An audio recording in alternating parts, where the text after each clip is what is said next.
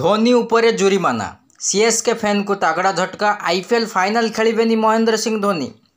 ମେ ଅଠାଇଶରେ ଖେଳାଯିବ ଆଇପିଏଲ୍ ଦୁଇହଜାର ତେଇଶର ଅନ୍ତିମ ତଥା ଫାଇନାଲ୍ ମ୍ୟାଚ୍ ଅହମ୍ମଦାବାଦର ନରେନ୍ଦ୍ର ମୋଦି ଷ୍ଟାଡିୟମରେ ଖେଳାଯିବ ଏହି ହାଇ ଭୋଲ୍ଟେଜ୍ ମ୍ୟାଚ୍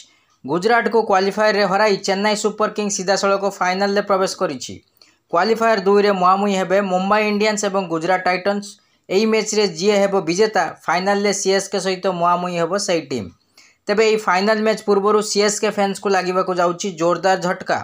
जहाँ चर्चा हो फाइनाल चेन्नई सुपर किंग्स अधिनायक एम एस धोनी खेलें ना CSK captain M S Dhoni IPL दुई हजार तेईस फाइनाल खेली न पारती इनसाइड स्पोर्ट्स अनुजाई धोनी गुजरात टाइटन विपक्ष मैच रे अंपायर कि किसी कथा देखा मिलता जो खेल चार मिनिटाई बंद हो जाता जदि कौन कारण न थ खेल बंद करने अंपायर ताकू दोषी सब्यस्त करती ତେବେ ତାଙ୍କୁ ଫାଇନାଲ୍ରେ ଖେଳି ଖେଳିବାକୁ ଦିଆଯିବ ନାହିଁ ବୋଲି ଚର୍ଚ୍ଚା ହେଉଛି ହେଲେ ଧୋନିଙ୍କ ଉପରେ କାର୍ଯ୍ୟାନୁଷ୍ଠାନ ଗ୍ରହଣ କରାଯିବ କି ନାହିଁ ସେ ସମ୍ପର୍କରେ ଏପର୍ଯ୍ୟନ୍ତ କୌଣସି ସରକାରୀ ବିବୃତ୍ତି ବାହାରି ନାହିଁ